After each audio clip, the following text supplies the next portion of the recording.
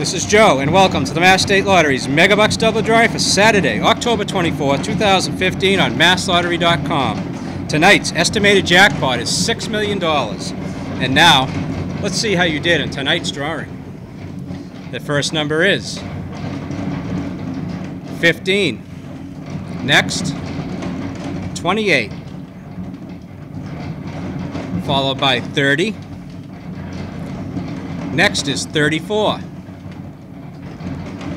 Here comes 18. And finally, 49. Once again, the winning Megabucks Doubler number for Saturday, October 24th.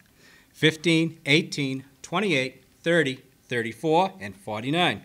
Remember to log on to masslottery.com, Facebook, and Twitter to watch all the Mass State Lottery's drawings. Good night.